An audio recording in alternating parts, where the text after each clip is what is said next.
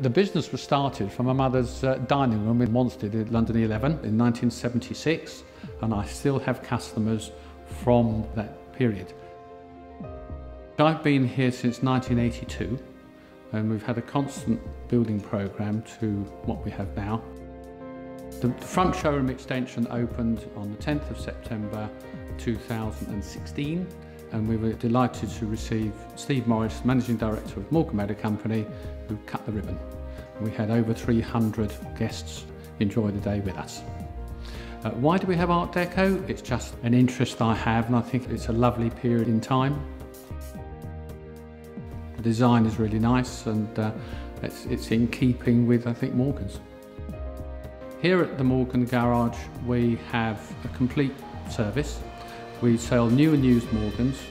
Uh, we service them, restore them and we have a worldwide parts operation.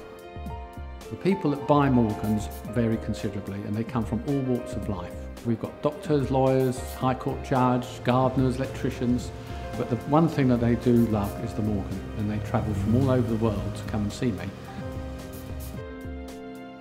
The employees we have have been with us a long time and that's covering all aspects of repairing Morgans and other classic cars.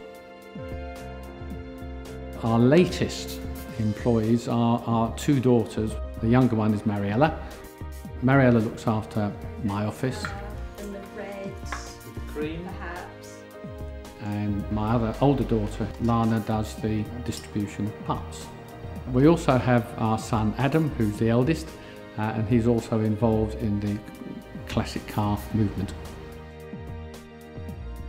The pit stop building was completed eight years ago and we have a showroom which has 10 car facility.